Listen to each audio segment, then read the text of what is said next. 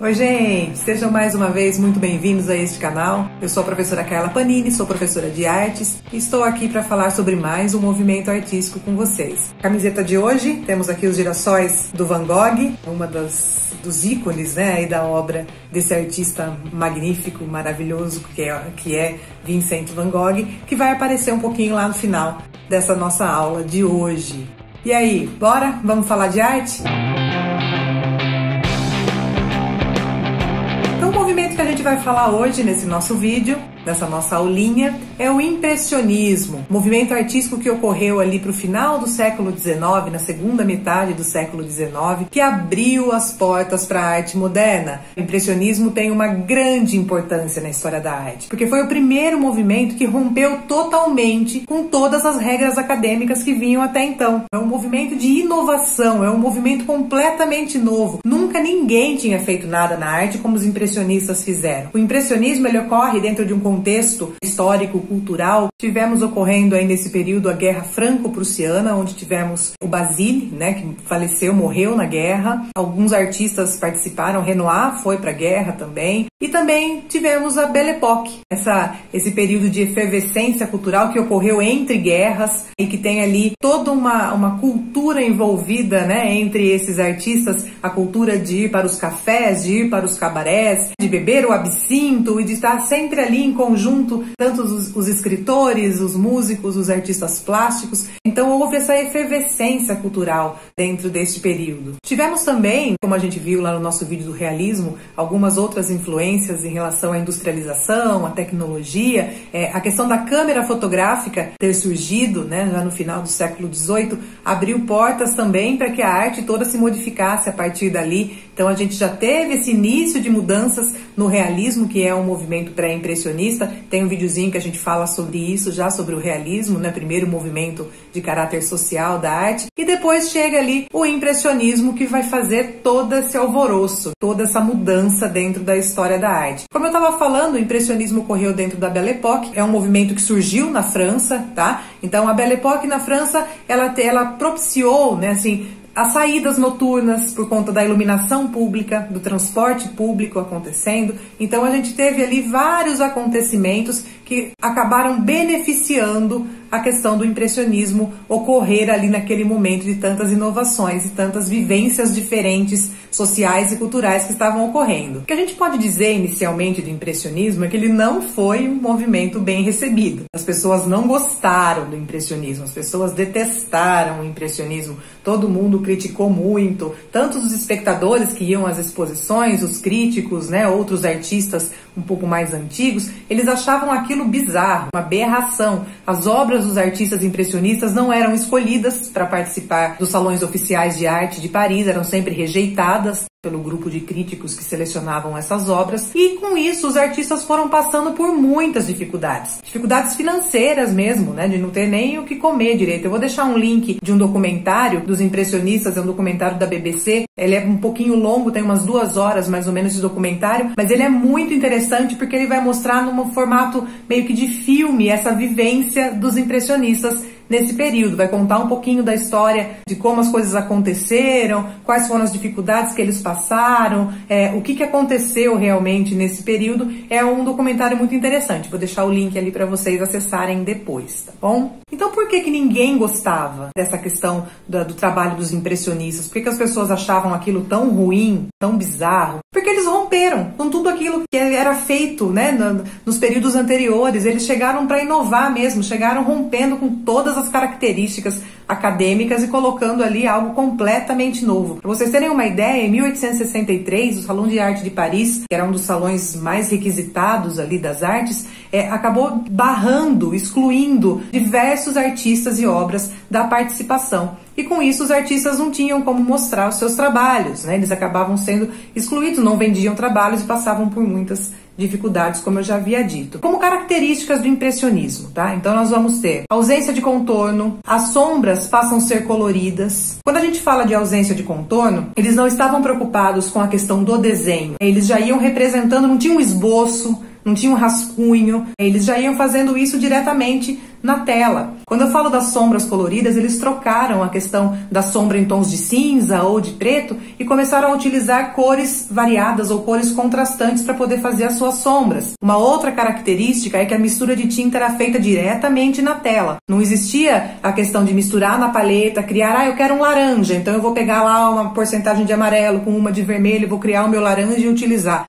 Não, eles pegavam a cor pura, amarelo e o vermelho, e diretamente na tela eles iam criando aquele laranja. Uma outra característica é que eles tinham as pinceladas bem marcadas. Acabou aquela história de pincelada lisinha do neoclássico, né? Que eles falavam que tinha que ser fina que nem uma casca de cebola. Para os impressionistas isso não existia. Para os impressionistas isso era algo que eles determinavam a espessura da pincelada que eles iriam utilizar. E geralmente eram bem marcadas, ficava ali o emplaço de tinta aparecendo mesmo naquela tela. Com isso, eles criavam uma certa ilusão de ótica também, porque a mistura de tinta ela acabava sendo mais óptica do que real, né? Do que feita realmente como era, o que vai gerar lá na frente o neoimpressionismo, o pontilismo, que vai fazendo ali pontinhos lado a lado com cores diferentes. A gente tem aí como exemplo o Paul Signa, né, esse artista que vocês estão observando aí, que ia trabalhando com esses pontinhos, né, micro pontinhos, criando essa ilusão de mistura de cor. Então era uma mistura de cor óptica. E os impressionistas é que deram esse esse chute inicial aí, né, para poder começar a trabalhar com essa forma também de mistura de cores. Já que nós estamos falando de tinta, né, uma grande evolução que ocorreu aí nesse período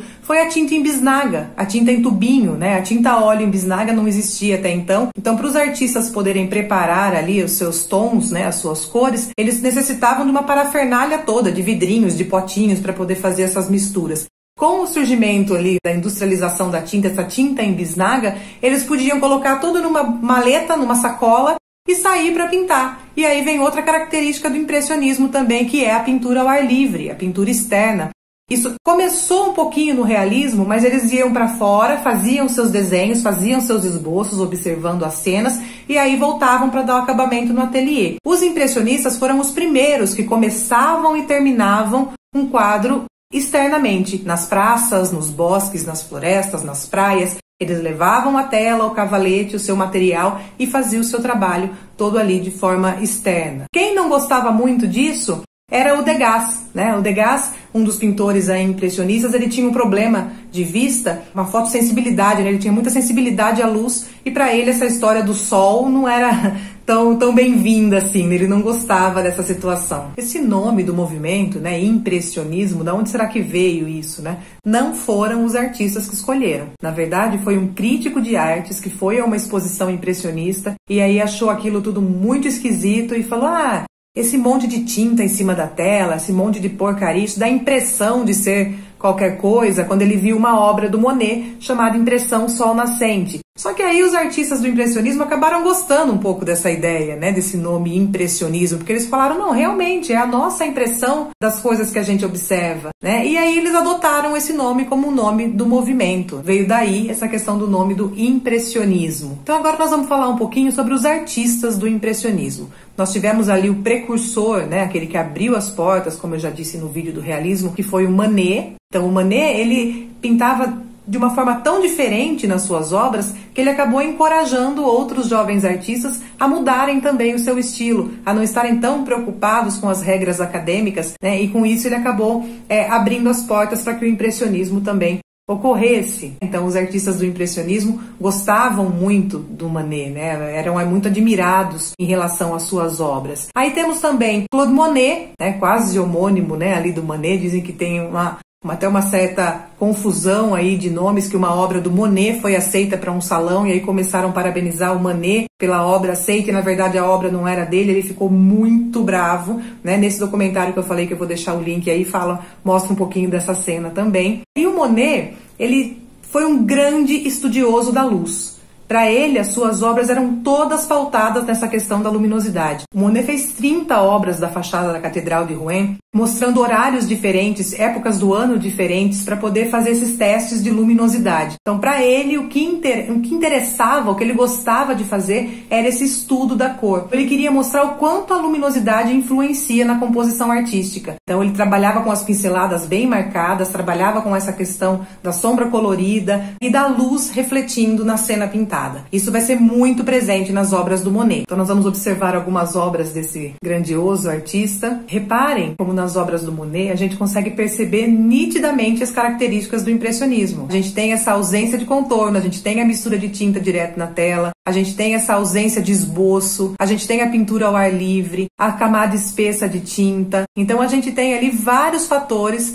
dentro das obras do Monet e também a questão do estudo da luminosidade que é tão presente nas suas obras. Ele sempre mostrando ali a luz refletindo na água, a diferenciação de tons nas folhas das árvores, dependendo da luz que está sendo colocada ali, né? as fachadas dos lugares mudando de cor de acordo com a luminosidade. Então, essa questão da luminosidade para ele era o essencial. Um outro artista, Camille Pissarro, que trabalhava mais com as questões políticas nas suas obras, então também mantendo as características ali impressionistas. Essas características vão ser muito nítidas nas obras de todos os artistas que a gente observar. Então a gente ali tem Pizarro voltando mais para essa questão político mesmo, do social, do cotidiano e assim por diante. Pizarro ele era, um, ele era amigo né, do Monet, do Renoir, ele acabou incentivando também Van Gogh, né, ele foi bastante amigo do Cezanne e ele estava sempre envolvido com as lutas impressionistas, estava sempre junto ali com os artistas lutando aí por essa arte mais livre sem tantas regras acadêmicas. No decorrer da Guerra Franco-Prussiana, ele morou na Inglaterra.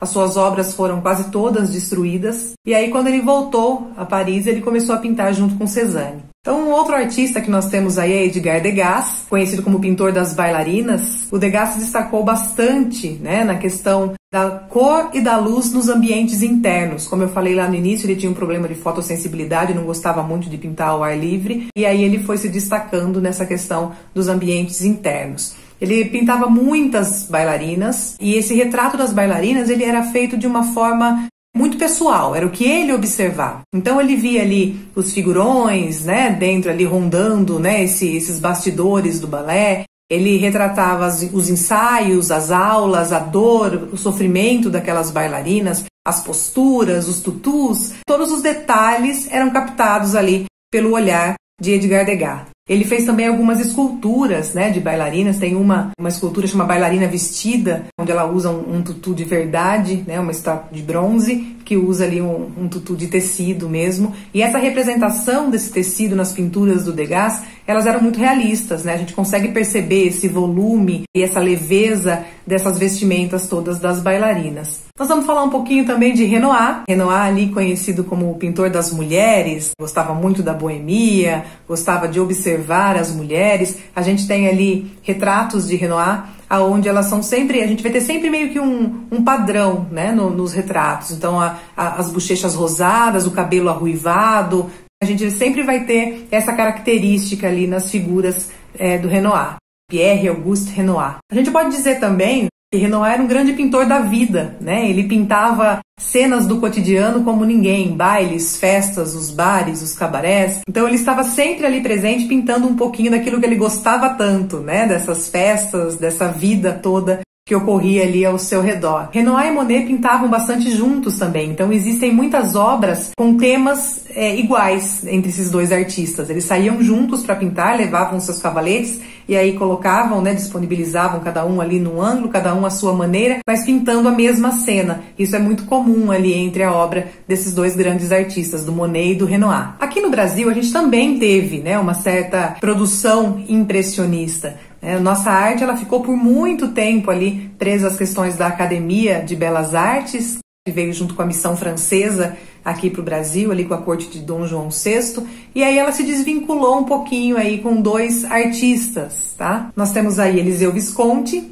e Belmiro Barbosa de Almeida, dois artistas que começaram a colocar ali nas suas obras essas características que a gente falou um pouquinho aí do impressionismo. Nós podemos dizer também que na escultura né, dos artistas Camille Claudel e Auguste Rodin existem algumas características da obra impressionista também. como a ausência de contorno nítido, tem algumas esculturas que a gente percebe que não existe uma preocupação tão grande com esse contorno bem delineado. Temos também a questão das arestas, das marcas de dedo, desse acabamento não tão finalizado em algumas obras, e aí a gente percebe também algumas características impressionistas nesses fatos. Não que eles sejam considerados artistas impressionistas, escultores impressionistas, não é isso. Mas é que na obra deles também tem características da arte impressionista. E também temos a música. Temos um movimento impressionista na música, onde nós temos Ravel e Claude Debussy, com suas composições que buscam essa questão da ambientação, né, do ambiente, da atmosfera, de trazer fortes emoções, ela foi um certo rompimento com o exagero do romantismo. Então elas são músicas que ao mesmo tempo que elas nos emocionam, existem também ou ápices, né, que deixam a gente mais tensos ou então coisas mais suaves. Então a gente tem essa característica na música impressionista também. Então vamos lá para um resuminho do impressionismo. Então, o impressionismo teve início na França, final do século XIX. Se adentrou ali logo no comecinho do século XX, mas o foco é século XIX. Contexto histórico aí desse período: Guerra Franco-Prussiana, Revolução Industrial, invenção da fotografia, criação da tinta em bisnaga. Isso tudo aconteceu ali dentro da Belle Époque, né, que foi uma revolução artística e cultural que se iniciou no final do século XIX com o final da Guerra Franco-Prussiana e depois ela foi, nesse né, período chamado de Belle Époque, foi até o início da Primeira Guerra Mundial. Principais características do impressionismo: rompimento total com as regras acadêmicas, ausência de esboços, ausência de contorno marcado, a mistura de tinta era feita direto na tela, o retrato da luminosidade sobre a cena que seria pintada era de extrema importância, as sombras eram coloridas e não mais pretas ou cinzas, a pintura era feita ao ar livre, as pinceladas eram bem marcadas e espessas. E aí a gente tem como temas mais usados cenas do cotidiano, paisagens, retratos. E como principais artistas nós temos Edouard Manet, que foi o precursor, começou lá no realismo e se estendeu aí para o impressionismo, Claude Monet, Camille Pissarro, Edgar Degas, Pierre-Auguste Renoir, Frédéric Basile, que morreu na Guerra Franco-Prussiana, e Beck Morisot, uma das únicas mulheres aí, uma das poucas mulheres artistas da época. Para a gente finalizar, vou só fazer uma introdução, porque depois isso vai virar um outro vídeo. É, eu falei aqui da minha camiseta, né, do Van Gogh. É, Van Gogh é um artista que ele foi muito versátil. Ele transitou por vários movimentos artísticos e o impressionismo é um deles. Então a gente observa nas obras do Van Gogh algumas características impressionistas, como essa questão das pinceladas bem marcadas, a ausência de contorno em algumas obras, esse, esses emplastos de cores, essa mistura de tinta mais visceral feita ali diretamente na tela. E ele vai passando depois por um outro movimento movimento conhecido como pós-impressionismo, ou seja, são os artistas que quiseram romper de alguma forma com o impressionismo. Na verdade, eles não romperam totalmente, eles continuaram mantendo algumas características do impressionismo, mas eles não estavam satisfeitos só com essa questão de trabalhar luminosidade ou de mostrar aquilo que se via naquele exato momento, naquele momento fugaz, naquele momento efêmero. Não, eles queriam ir um pouco além. Eles queriam colocar expressividade, emoção nas suas obras. E aí nós vamos ter outros artistas que vão vir diferenciando um pouquinho esse estilo impressionista. E a gente vai ver isso logo logo num outro vídeo de pós-impressionismo. Gente, esse vídeo fica por aqui. Eu agradeço a presença de todos mais uma vez. Muito obrigada por estarem aqui no nosso canal. Obrigada aos meus alunos que estão acessando aí as nossas aulas. Obrigada àqueles que não são mais meus alunos e àqueles que nunca foram, mas estão sendo agora através dessas videoaulas que eu estou gostando muito de fazer. Um beijo para todos vocês. Até o próximo vídeo. Tchau, tchau.